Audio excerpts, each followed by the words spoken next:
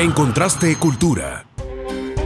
Esta semana en Café Chejo nos acompaña Juan Casamayor. Ser elíptico con el lector, eso juega una baza fundamental. Es que creo que estamos hablando del tejido del cuento. En este programa, las palabras se vuelven imagen. Café Chejo